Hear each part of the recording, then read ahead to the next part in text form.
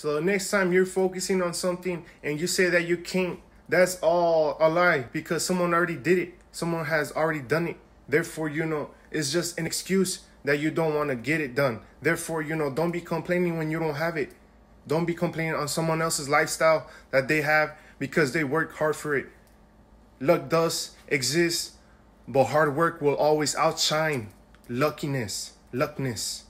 That's not even a word. But hard work is a real thing. Hard work will always prevail. No matter who you are, no matter how you look, no matter where you're from, hard work will always prevail. I have never failed a mission. Why? Because my hard work has always shown up. I always showed up to play, perform. I'm a performer. I've never failed in nothing I've ever done. I accomplished it. And it was up to me if I wanted to continue or not. So next time you're like, you know, I lost all faith in the world. I lost all faith in people. Welcome to the boat. You're not the only one that feels this way. Keep working hard. Have faith.